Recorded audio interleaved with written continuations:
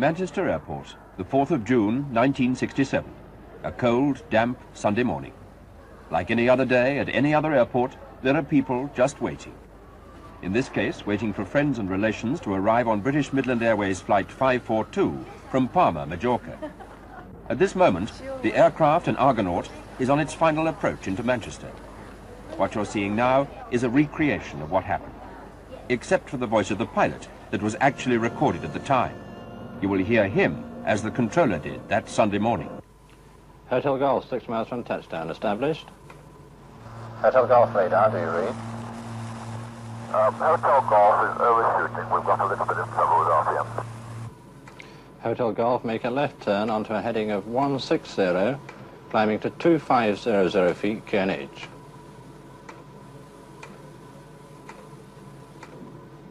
Hotel Golf radar, why are you overshooting? Uh, we've got a little bit of uh, trouble with um, RPM. But advise you. Hotel Golf, continue your right turn now onto a heading of 020, climbing to 2500 feet, QNH 1025. Hotel Golf, advise when you're ready to recommence your approach. Only the controller here at Manchester and the crew of the aircraft knew at this moment that the Argonaut Golf Alpha Lima Hotel Golf had turned away and for some reason was going round in a right-hand circle over Stockport before coming into land. And only the crew knew why.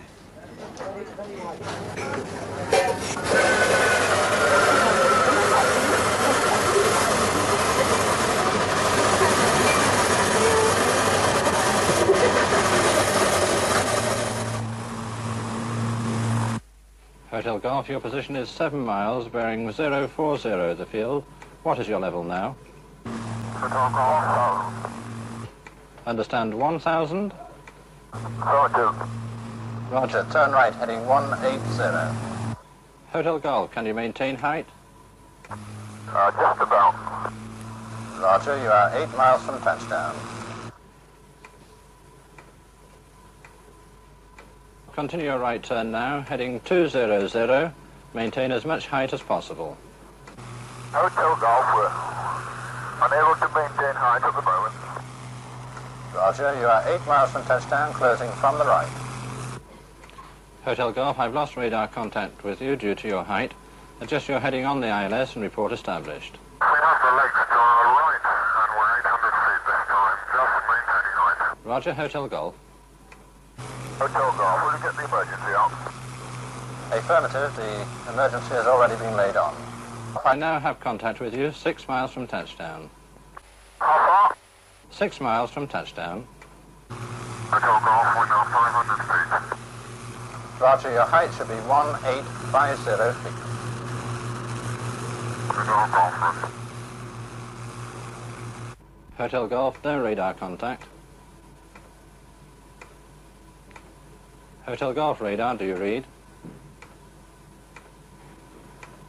Golf Alpha Lima, Hotel Golf radar, do you read? Six miles away from the airport, the aircraft had crashed in the center of Stockport. Some people died on impact, others in the fire which followed. Altogether, 72 people lost their lives.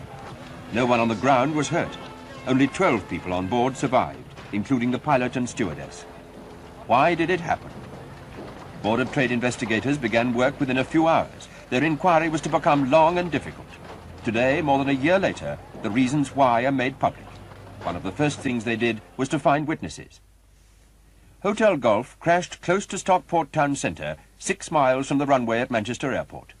Three minutes before the crash, Hotel Golf had been heading north to reposition for a second approach. A Manchester policeman, Alan Faulkner, saw the Argonaut passing near his house in Gorton. On that Sunday morning, I'd returned from a friend's home. The weather was, it had been raining, cloud was low, but uh, was quite dry. And the, the sound of a piston engine aircraft flying at low altitude attracted my attention, and I looked over into this direction by the, between the two rows of houses. It was at about three, four hundred feet, certainly no more. The large BM on the tailplane attracted my attention, and, and just on the fuselage below the tailplane were the words Canadair 4. And then the plane came out over in an arc towards Audenshaw Reservoir, flying with its nose lifted, tail down, a slight rocking, but nothing uh, untowards. It certainly didn't make me think the plane was going to crash immediately or in the future. It seemed that a plane in trouble, but uh, that was managing quite all right. The plane then appeared to continue turning back towards Manchester Airport. Four miles further on, Hotel Golf was seen by an official from the gas board, Desmond Ray. I was in the house at the time and the aircraft appeared to pass over and the engine sounded very loud. I came out into the back garden and saw the aircraft just about here. There was nothing sounded abnormal about it apart from it being very low. I could make out the name on the side, British Midland, and the letters BM on the tail fin the aircraft tried to gain height as it was going up towards Alton Green, and then it seemed to trail off down behind the houses and seemed to dip down very low over the second telegraph pole just beyond. Hotel Golf turned into the approach path of Manchester Airport. It completed its circle and was then in a direct line for a landing on the main runway. Nose up, tail down, obviously flying very slowly just before it hit the ground but no mention of fire and no suggestion of pieces falling off the aircraft. Lower and lower, it avoided a gasometer and flew towards two blocks of flats and a hospital. Whether by luck or by skill of the pilot, it hit nothing. It flew on as far as Hopes Carr, an open site behind a garage, and here, finally, it crashed. Within seconds, the airliner had become a heap of tangled wreckage. By chance, the first man to arrive was somebody who knew what to do. Bill Oliver is a Stockport policeman. About uh, 10 past 10 on the morning of the crash, I was riding this motorcycle along Waterloo Road uh, towards that direction when I saw the plane, uh, which would only then be about 50 or 60 feet in the air, with the left-hand wing higher than the right, coming diagonally towards me. Uh, I knew it was going to crash, and I turned to my right as I thought it would hit the buildings that I was coming up against. Uh, I, I, the plane crashed. I uh, stopped, radioed the police headquarters and ran down to, uh, to this part here. There was um, one man, about 50 odd years of age, who was staggering away from the plane and about five yards clear from it, close to where those petrol pumps are. And behind him, uh, the plane had split open with the cockpit being almost severed and uh, between 20 and 30 people exposed to view. Um, as I got closer to it, I could see that a girl had started to move, and uh, I went into it, got her out, and then uh, just carried on moving people away from it until uh, this plane exploded and caught fire. From the investigators' point of view, the eyewitnesses have not helped very much but they still have plenty to go on to establish the cause. Mechanical failure or human error? And what was the failure, if any? Or what was the error?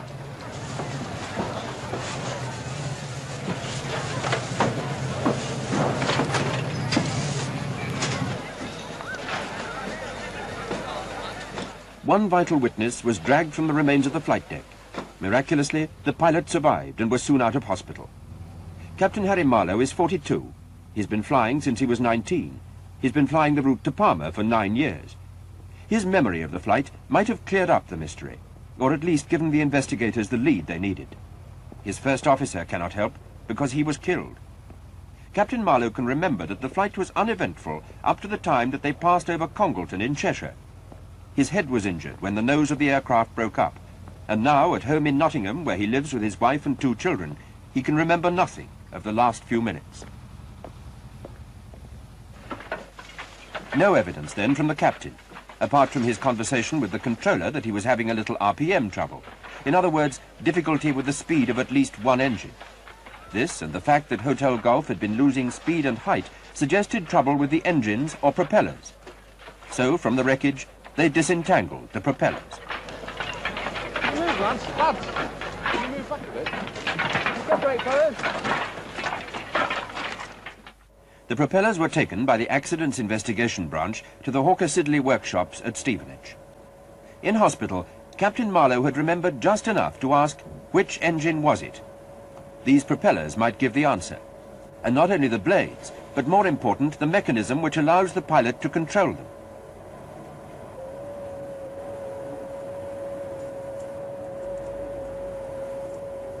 Eric Newton, a Board of Trade investigating officer. This is the root end of a propeller blade, and in order to determine the pitch angle, as it wasn't possible to determine this from the damaged uh, propeller blades, we had to resort to impact markings made when the blade struck the ground, and these are clearly defined on the soft root end shim plates. And by mating these to the spider of the propeller, we were able to determine the pitch angle of the propeller. And it's from this method we were able to determine that number four propeller was feathered.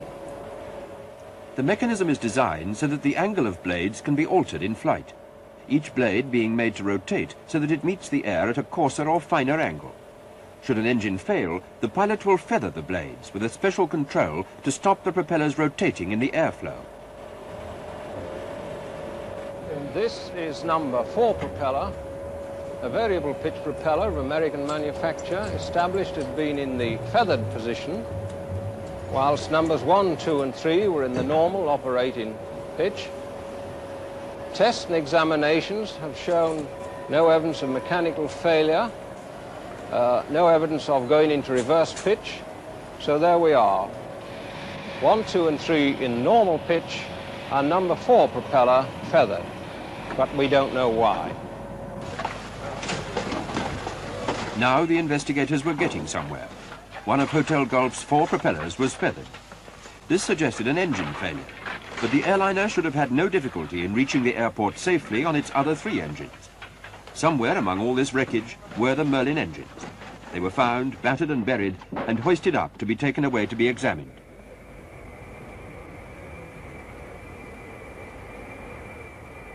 The Scottish Aviation Base at Prestwick. Here, Rolls-Royce engineers stripped the four Merlins down to their 3,000 individual parts. Four long tables were laid out side by side to take all the individual parts, each one of which was to be cleaned, checked, and in some cases x-rayed. Rolls-Royce designed the Merlin engine for the Hurricane and Spitfire, and Eric Newton himself was investigating accidents on Merlin engines during the war.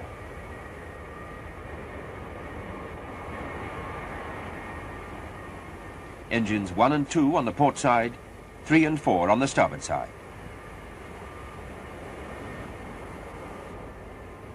From the impact marking, they could say which engines were running and which engines were not. They confirmed that number 4 engine had been stopped, and they made a new discovery about number 3 engine.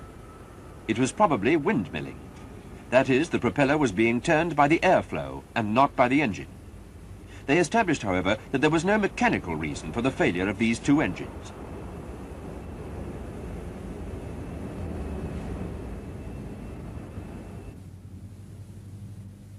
With the wreckage cleared away one month later, the public began to forget Argonaut Hotel Golf. Now the investigators knew there were no quick answers. It would be a long job. They now thought that the airliner had been flying with two out of its four engines out of action, for no obvious reason. Had something else happened, something in the cabin, something the passengers would have noticed? By this time, most of the 12 survivors had recovered, and the investigators spoke to them all. Among them, a 15-year-old schoolgirl. Her friend died. A young man from the Midlands, his holiday companion, also survived. Two brothers from Lancashire. Their father was killed. The hostess, Julia Partleton, she escaped with severe burns. They remembered the horror, but very little that helped. Today, some of them are still haunted by it.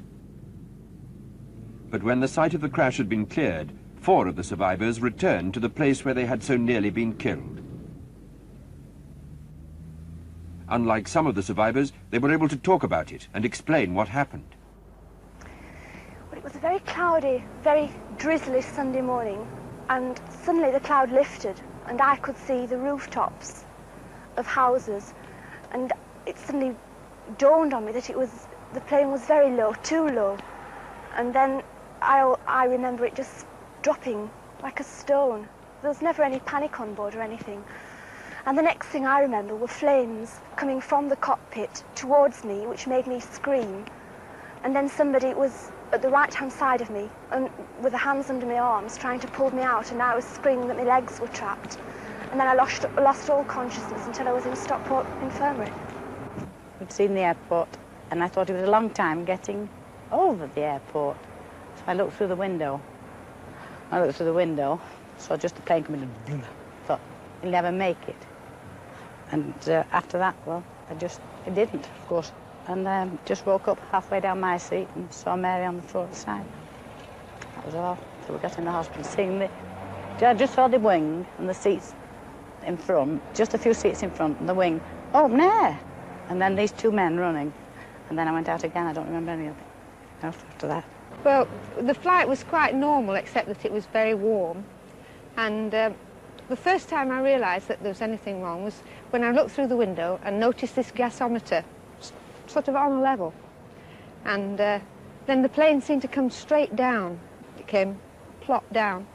And that strange feeling you have when you go to the dentist and, you know, everything goes round. Well, it felt like that. And there seemed to be a lot of bangings and noises. And um, then I must have blacked out. And the next thing I know, uh, Mrs. Parry, who was sitting next to me, said, um, will you uh, unfasten your seatbelt? And then there was a man leaning over me. I realised afterwards he was a policeman. And uh, he asked me to undo the seatbelt, but I couldn't use either arm. So he must have got me undone because when I looked down, I was on fire down one side.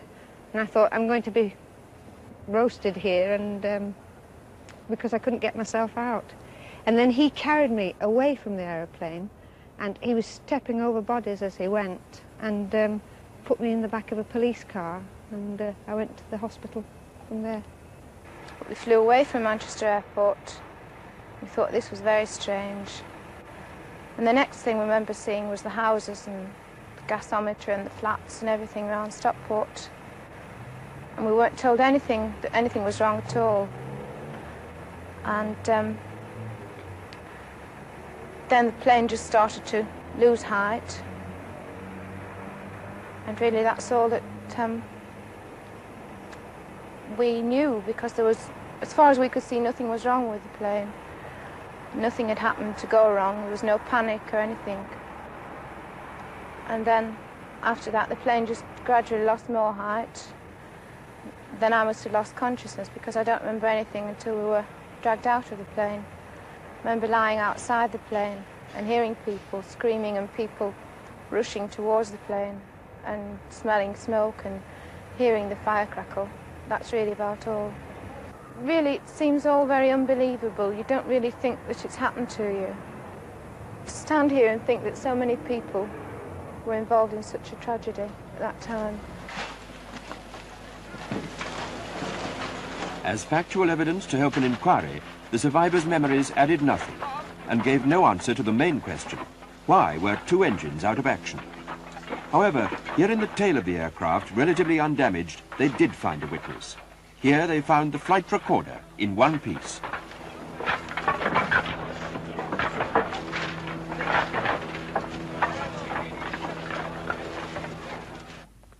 In this case, not a black box, but a bright orange ball. The Midas recorder was taken to Royston Industries headquarters at Byfleet in Surrey. Built to withstand almost any crash, it was undamaged, and if, as they hoped, it had done its job, then they would know what had happened, if not why. Opened by a Royston technician under the eye of a Board of Trade investigator, Geoffrey Felton, it was found that the thin recording tape was still intact and had apparently been running. Now they could take that tape and play it back. Not a recording of what was said on the flight deck, but a record of facts about the performance of the aircraft. Its height, direction, speed. Its timing of every alteration. It could tell the investigators more of what happened in the last minutes of Hotel Golf and when the pilot lost the power of two engines. On this tape, they hoped to find the information that Captain Marlowe had been unable to tell them. Information that only someone, or in this case, something inside the aircraft could know. During those last few minutes of the flight, most of the relevant information about the aircraft had been fed into this recorder and into another one at the same time. Not built to withstand damage, but it had survived. This recorder had been found a week later, trapped in the wreckage. So there were two tapes to provide a double check. And here comes the first part of the information. Date, time, aircraft.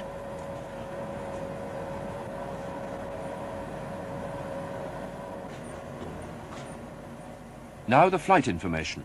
A long paper chart with moving pens drawing out second by second the movements which Hotel Golf made as it turned away from its final approach into Manchester and made that complete 360 degree turn. From left to right, the compass heading, next the relative time scale, then a rough recording of the altitude, then a fine record of the same thing, a rough record of airspeed, and lastly a fine record of airspeed. And as the needles jump across the paper, you can see the moment of impact. Now. From then on, there was nothing to record.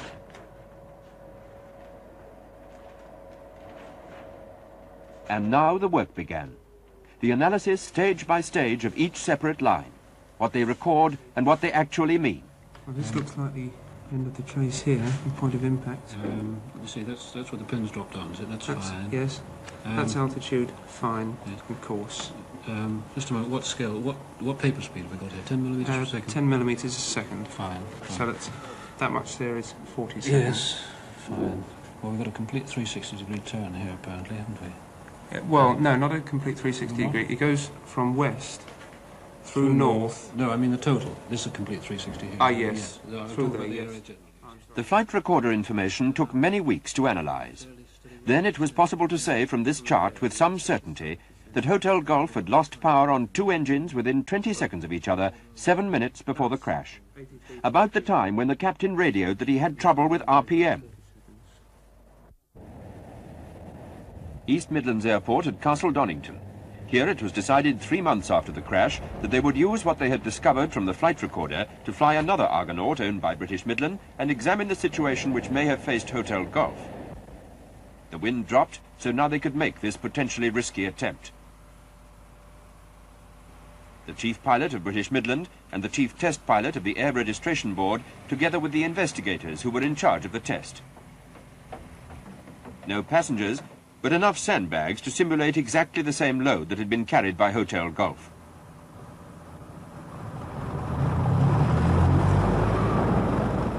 At exactly what speed would the aircraft stall, carrying this amount of weight?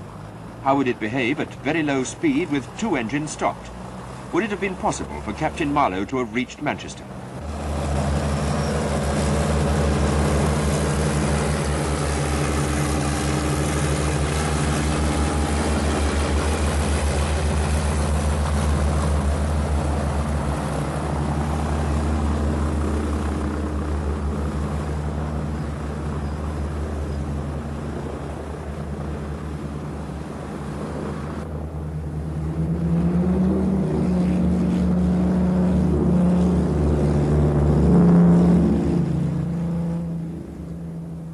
Climbed high up to give themselves plenty of airspace underneath, and they flew over the most deserted countryside they could find.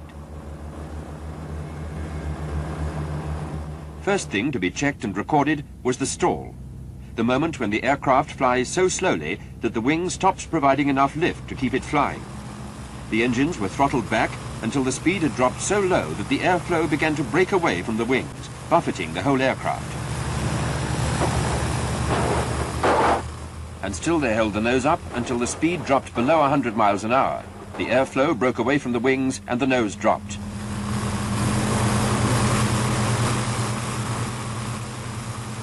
Open the throttle, ease forward on the controls, and with increased speed, the aircraft comes straight and level again and flies on.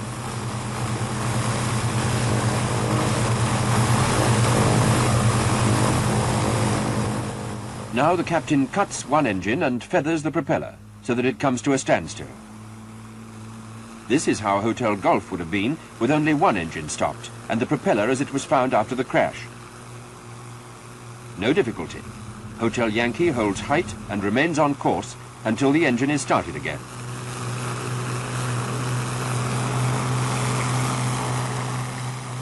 Now the big test. They will feather one propeller, allow another to windmill, and fly the plane on the other two engines only.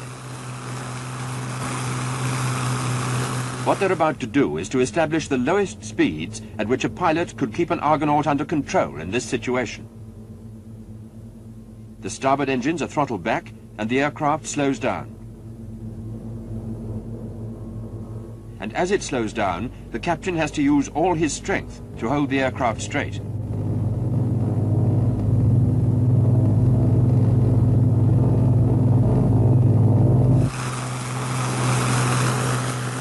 Can only just manage to hold the aircraft straight, but he loses height and he's flying right on the edge of the stall and dangerously near to spinning.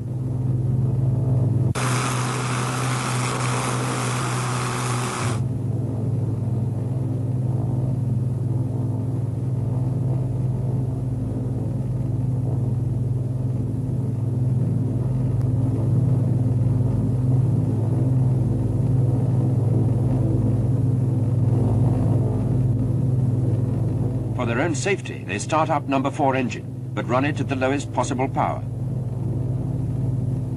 Meanwhile, the port engines are running at full power.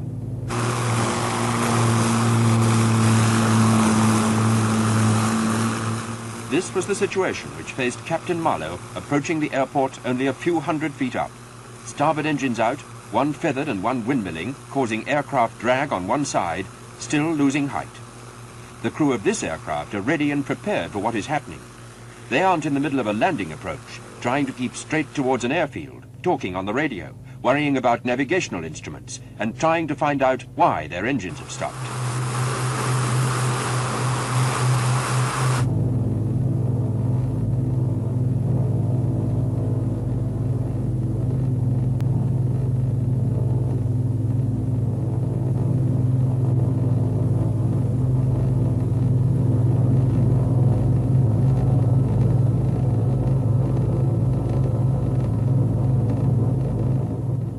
So, Hotel Yankee has behaved just in the way they believed Hotel Golf behaved over Stockport.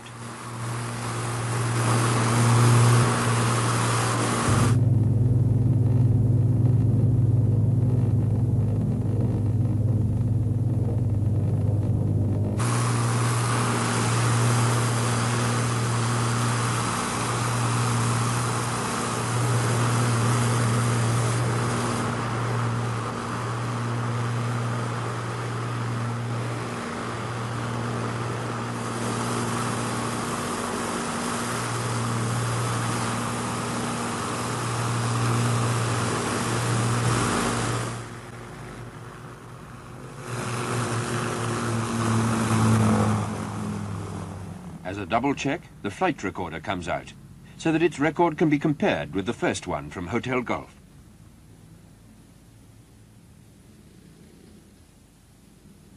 For the pilot, the test flight had lasted a long two and a half hours.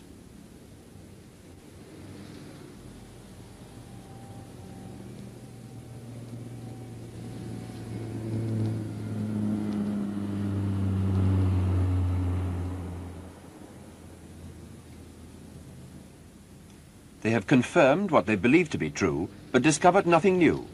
They are no further forward. What nobody knows still is why those two engines should have stopped when there was nothing mechanically wrong with either of them. The reason has to be found, because whatever it is, it might affect another aircraft carrying another load of passengers.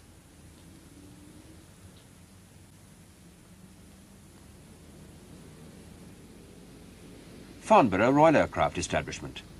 Here they brought the wreckage of Hotel Golf. Here, where the relics of other air crashes all lie together.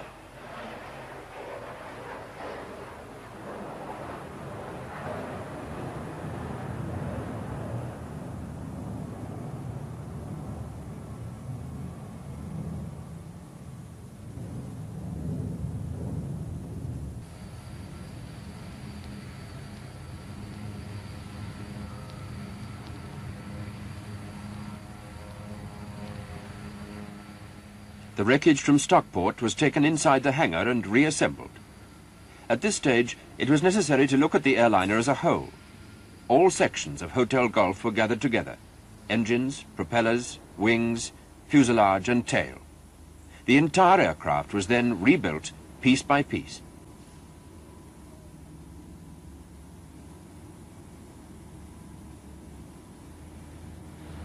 The remains of the flight deck, from which Captain Marlow was dragged alive.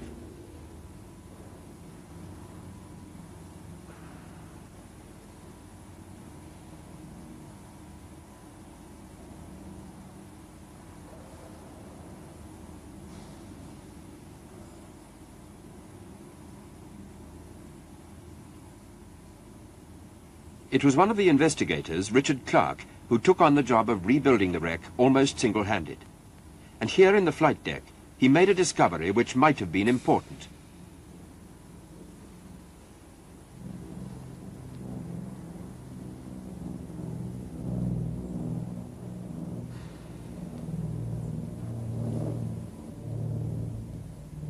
Richard Clark explains. This is the engine instrument panel and we're particularly interested in the engine RPM indicators. This one shows numbers 1 and 2 engines, this numbers 3 and 4.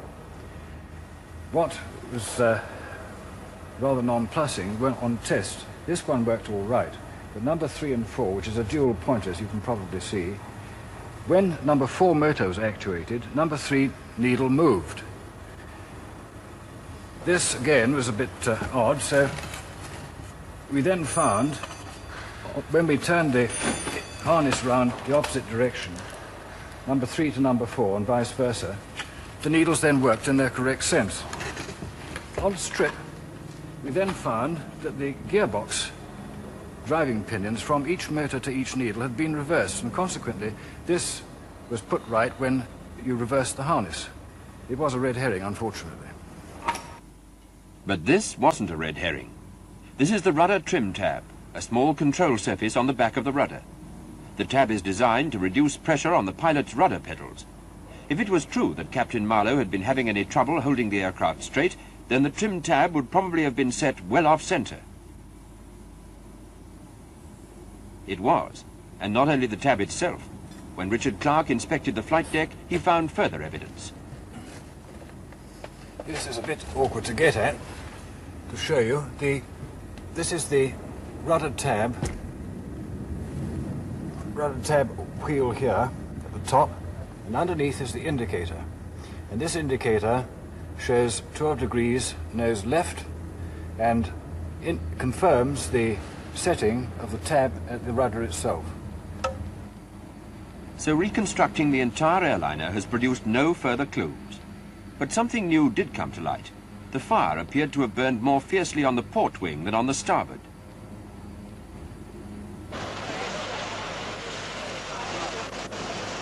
From the point of view of preventing another accident like this from happening, the team was still no further on than it had been on that first Sunday morning. And the pressure was growing for the public inquiry to be started. What the captain had described as a little bit of RPM trouble was just as much of a mystery now as it had ever been. If the second pilot had lived, or if Harry Marlow had been able to remember, they might have been able to solve it in a matter of minutes. All the investigators could really tell the public inquiry was that Hotel Golf had crashed with two engines out on the starboard wing. But they couldn't tell why. Was there any significance in the lesser fire damage on the starboard wing? Had they run out of fuel? Certainly they'd left Palma with enough fuel to spare, and anyway, if they had run out of fuel, why had two engines kept going until they ploughed into the ground?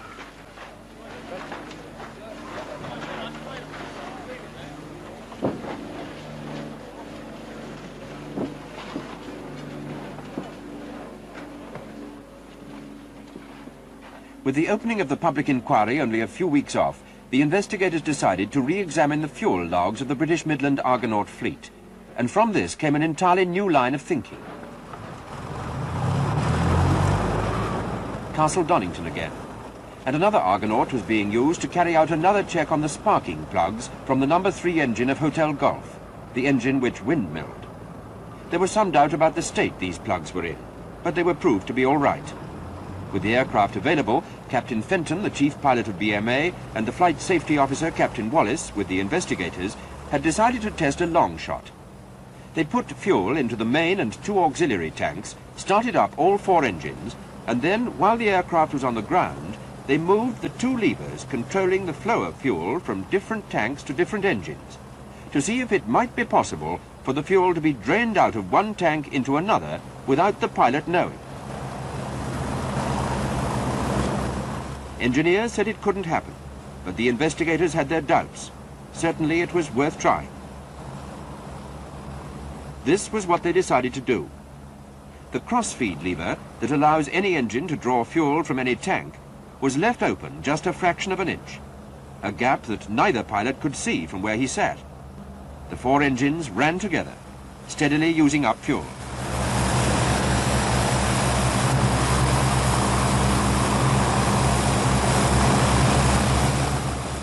If there was any truth in the theory, then sooner or later one tank would run dry and the engine would stop.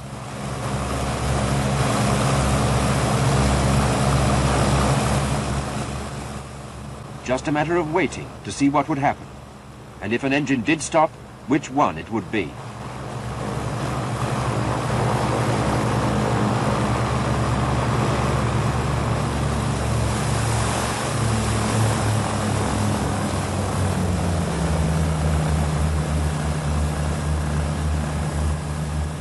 Was engine number four.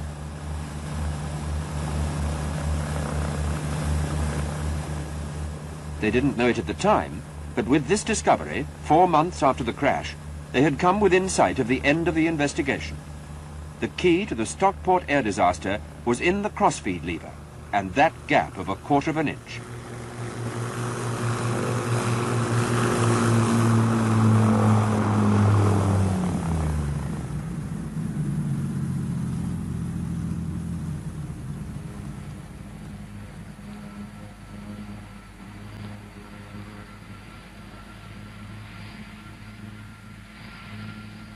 From this test and others like it, the investigators were able to say that if the crossfeed cock is left not quite shut, then fuel can be pumped from one tank to another, probably in all directions. This could explain why fire damage was greater on the port wing. There was less petrol in the starboard wing. But it didn't explain why number three engine was windmilling, unless the fuel pumps were pumping in air from the empty tank of number four. And that was basically all that was known when the public inquiry opened at Burlington House in London in November, nearly six months after the crash. An inquiry at which every known fact was to be brought out, every relevant detail. An independent chairman, two independent assessors, evidence from the board's own investigators, representatives of the airline and the makers, Canadair, lawyers, engineers, experts on every aspect of flying. There were maps to show where the aircraft was at every stage, papers and documents of all kinds. And among all the people there were two whose interest in the inquiry was rather different from the others. Mrs. Marlow, the captain's wife, and the one man with more personal interest in the case than anybody else, Harry Marlow.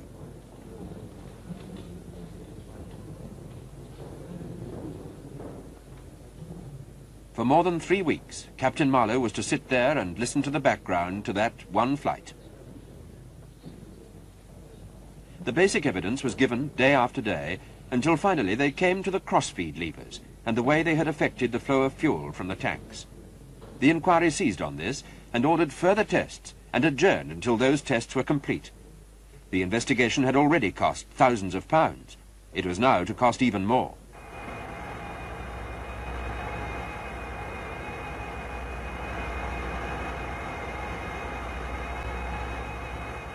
Another British Midland Argonaut was taken to Boscombe Down, and here the fuel system underwent the most intensive testing that could be devised.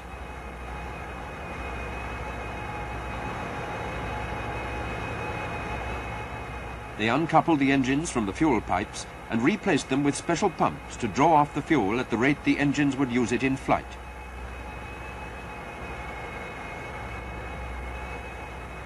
With this machinery, they could discover not only how much fuel was being used from each tank, but if there was any cross-feeding going on, where it was coming from, where it was going, and how much.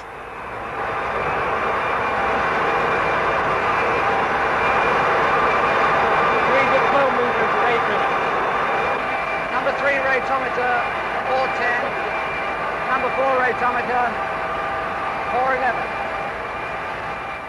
Flights were simulated with the crossfeed levers closed and with them just that quarter of an inch open. Tank pressures were recorded and compared.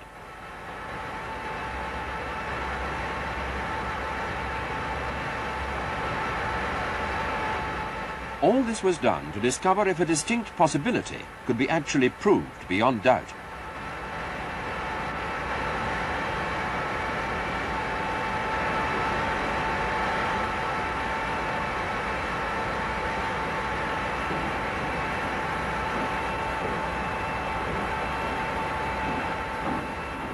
Proof was important to Captain Marlow as well.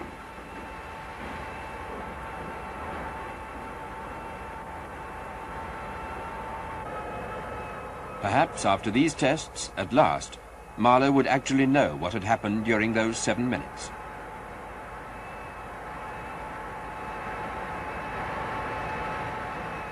They continued with the test rig. They also ran tests with the engines running for long periods. Tests that would have been impossible in anything but this freezing weather, because the engines would have overheated. 50.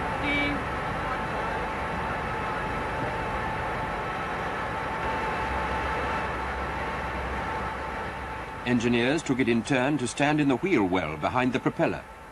Metal pipes had been replaced by transparent tubes so that they could watch for bubbles, which would mean that air had entered the system. If air had been flowing as well as fuel, then that might have been the cause of number three engine having stopped as well as number four.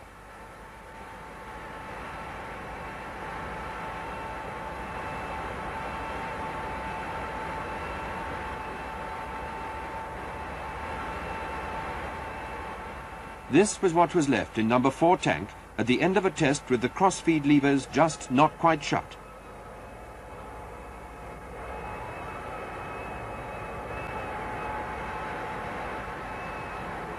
And this was what they found when they drained the other three main tanks.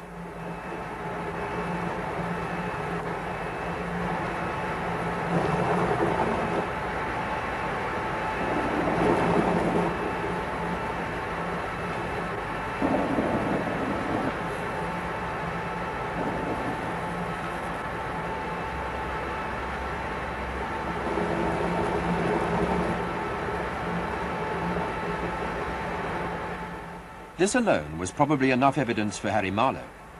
It was almost enough for the investigators. Number four engine died because of lack of fuel. But they still didn't know why number three failed, and the air bubble theory had been totally disproved.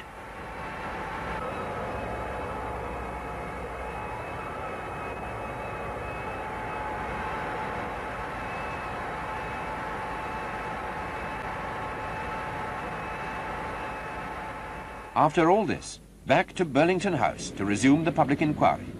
And now it is March, nine months after the crash. For two weeks, the public inquiry faced the puzzle of what had happened to number three engine. When the public inquiry closed, the assessors took over, and for several months more sifted and evaluated all the evidence. Today comes their official report. And this is what it says. Number four engine did stop because of fuel starvation number three engine may have stopped for the same reason, or for a different one. And what you're going to see now is what might have happened on the flight deck of Hotel Golf during the last seven minutes before the crash. Assume that this crossfeed lever had been left just off the stops at some stage in the flight. Neither pilot could see the gap, but because of it, fuel would be drained out of number four tank by other engines until it ran dry. However, number 4 engine would continue to run by drawing fuel back again through the accidentally open crossfeed cock. A pilot approaching and landing checks as a routine that the crossfeed levers are closed.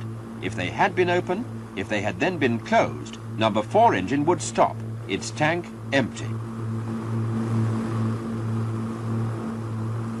At this point, suppose the pilot wrongly identifies the engine which has failed as number 3. He tells his first officer to close the throttle, turn off the switches, and feather number three. There's very little indication on this panel of which engine has lost power. Until the engine's feathered, the propeller still goes round. But as soon as number three is shut down, he realizes from the way the aircraft is flying that it was the wrong engine. He needs both hands to hold it straight. So he tells the first officer to cut out and feather number four to reduce the drag of a windmilling propeller. After that, he must restart number three. The throttles are opened and the engine is unfeathered. But the captain himself has already turned off the fuel to number three when he thought it had stopped. Now he has his hands full and he hasn't time to reach forward and open the fuel to number three engine. You remember that he needed full rudder trim to keep the aircraft straight, with one propeller feathered and one windmilling, and that's what he has now. The first officer would have to undo his straps, leave his seat, and move right across the flight deck and open the vital valve. And who knows, perhaps there wasn't time. If he didn't have time to get that fuel on again, then what happened was understandable. This might well have happened, but there was no evidence that it did. The report says it cannot decide whether the failure of number 3 engine was due to fuel starvation or to misidentification.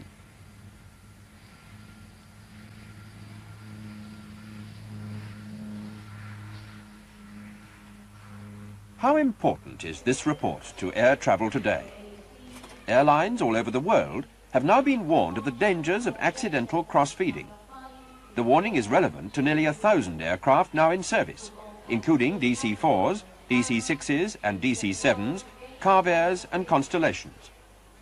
The report says failure of communication was a major contributory cause of the Stockport crash. BOAC discovered this crossfeed danger 15 years ago in 1953 and told the makers, Canadair, about it. Canadair apparently told no airlines and didn't change their flight manuals. Aer Lingus and the independent airline Invicta also knew about the danger. Others didn't. In 1953, there was no machinery for sharing information of this kind among the airlines. Today, there is. Today, stewardess Julia Partleton is flying again for a living, with British Midland Airways. It took her months to recover from her injuries, but now she's completely fit. And finally, Captain Marlow. There is no reflection on him in the report. But because his injuries make him permanently unfit, his license has been cancelled. He may never fly again.